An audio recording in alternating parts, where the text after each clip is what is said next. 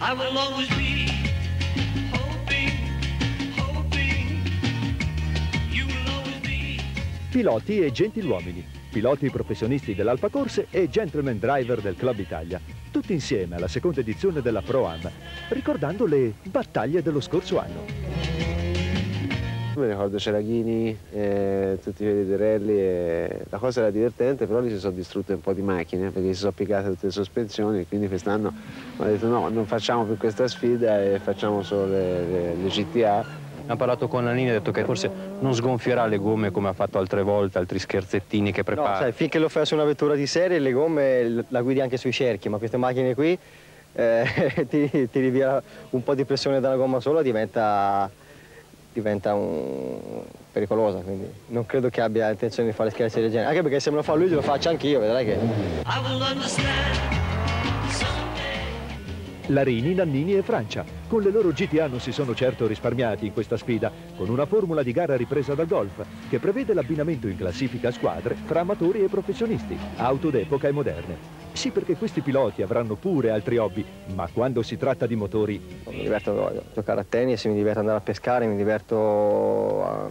con i radiocomandi, mi diverto un po' con, eh, diciamo, proprio con, con hobby o sportivi o, e no, però insomma. Anche se siamo professionisti, però è il nostro, è il nostro hobby, cioè io mi diverto andando a guidare la macchina.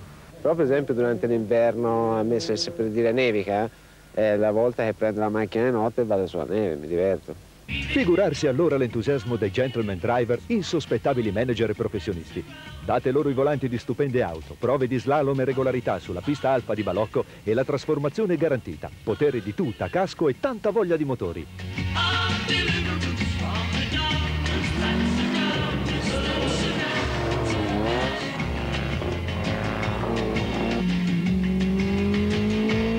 Partecipare è importante, vincere non è importante.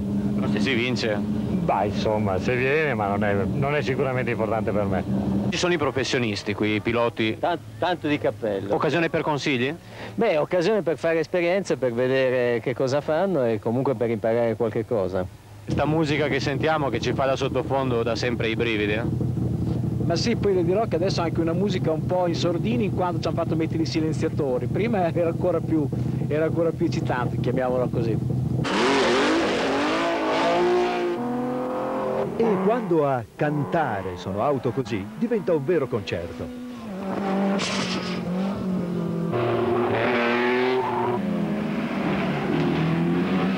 Vetture stupende, datate dagli anni 50 agli anni 80, dalle Lancia Aurelia alle Delta S4 e per tutte vale una parola sola, arte.